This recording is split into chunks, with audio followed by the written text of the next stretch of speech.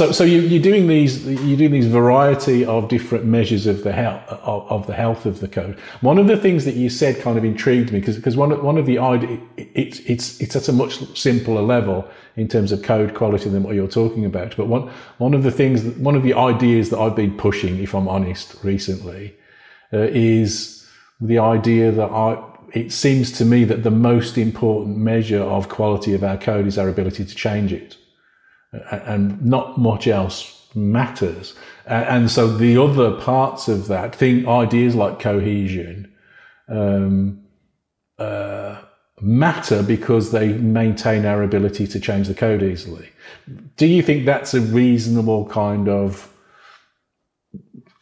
overview picture of what we should value as, as, as quality in code? Or, or do you think there's more to it than that?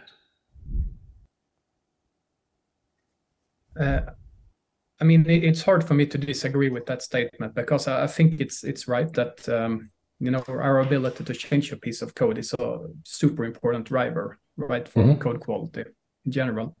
Uh, I think there might be a bit more to it uh, because uh, there is this wonderful book by uh, Robert Glass called uh, Facts and Fallacies of Software Engineering, an old book, but still uh, one of my favorites. And he, he kind of has this 60 60 rule that I've been referring to over the years where it says that 60% uh, of your work is making modifications to existing code.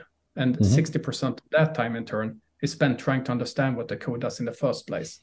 Yeah. So that kind of enforces your point that yeah, change is the ability to change is important, but also think that the way you optimize for change is by making the code as easy to understand as possible because that's where we spend most of our time. So to me, we want to optimize any aspect of code. We should optimize for ease of understanding. That's where the big win is. Uh, yeah, I, I, I, certainly wouldn't do disagree with that. I, I, I would.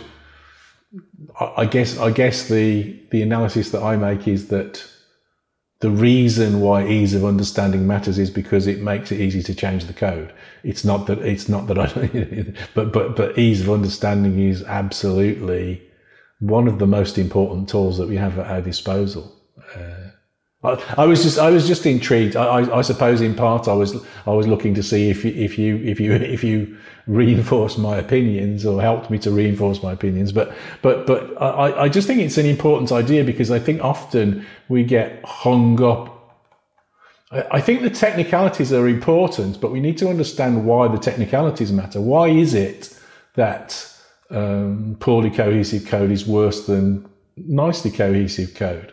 Um, and it's for these kinds of reasons. And, and, and so it helps me to, to, to understand and think about and prioritize the kinds of changes that I was making. So uh, sorry, I'm just going off on one of my hobby horses now, but it's, I think it's, I think it's an important idea and it's, it's certainly one of the ones that I am trying to popularize at the moment, I suppose.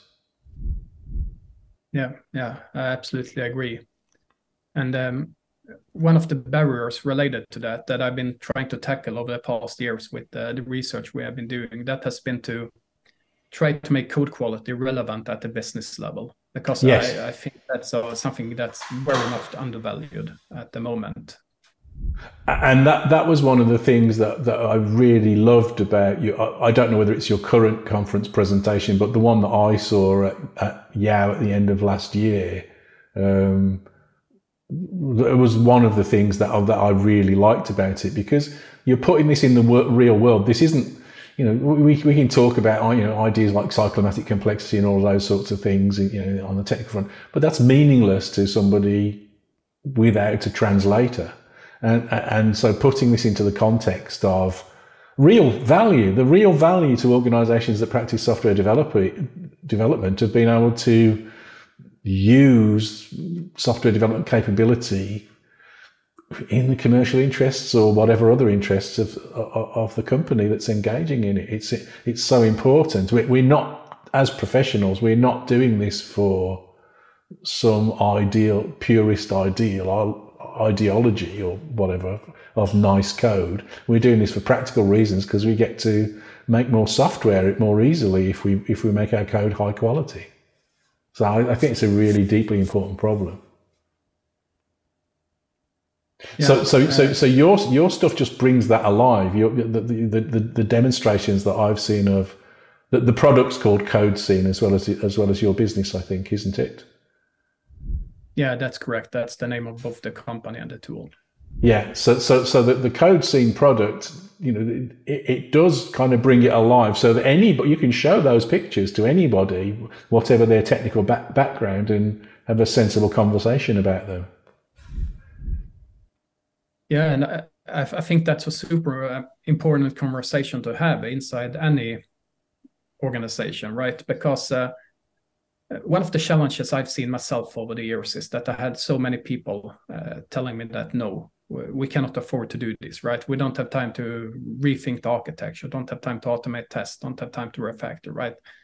So somehow there is this, I would like to say it's a perceived uh, conception, misconception that uh, there is some kind of trade-off between speed and quality, right? We can either yeah. go very fast, we can go well, but to slow us down. And the, the, data we have been collecting and the research we have been doing, and uh, I think this is very much supported and in alignment with the, the DORA research, right? That yes.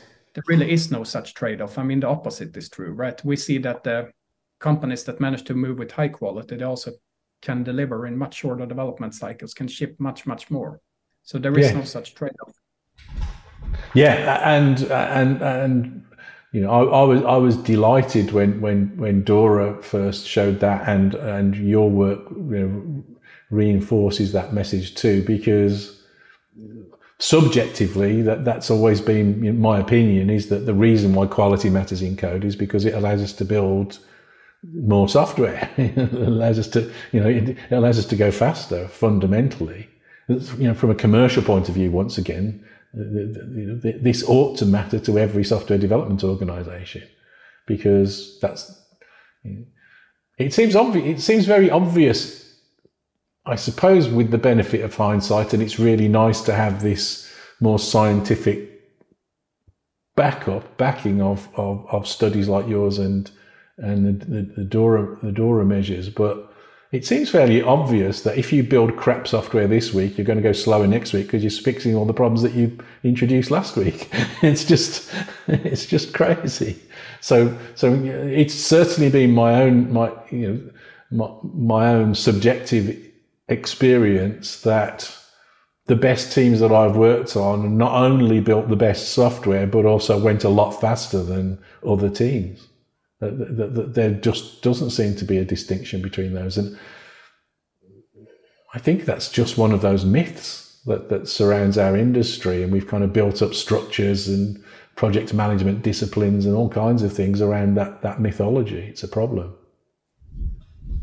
Yeah, I agree. I, I think it's a very destructive myth. And um, I think part of the problem is that software is a very abstract thing, right? It lacks visibility. Yeah and uh, I, I, think the consequence of that is that doing improvements to the internal quality of code like uh, larger refactoring that kind of stuff it, it kind of lacks on external value right? The software is doing the same thing which is the purpose of refactoring right? But there's yeah. nothing i can sell to a client. It's not doing more right? It doesn't have more capabilities. And that always means that improvements tend to get the backseat compared to adding the next big feature right? So it's it's a yeah. hard sell larger improvements yeah, and and and people, uh, I think. I, I, th- I, think we're, we're all kind of products of, uh, you know, uh, uh an industrial civilization. You know, sort of, you know, we grew up with people building cars on or widgets or whatever on production lines, and so we have that kind of manufacturing meme planted deeply in our psyche. But software development is not about manufacturing in the slightest aspect. It's a very, very, very different kind of thing, and manufacturing techniques don't work. This clip was taken from my podcast, The Engineering Room with Dave Farley, a monthly podcast with some of the brightest minds in software engineering. You can find full episodes on all your favourite podcast platforms, including Spotify, Apple Podcasts, and Amazon Music. Your support helps us to bring you these regular episodes, so please leave your positive review on your preferred podcast platform to help us to continue to grow and bring you great guests and their insights. Thank you very much for listening.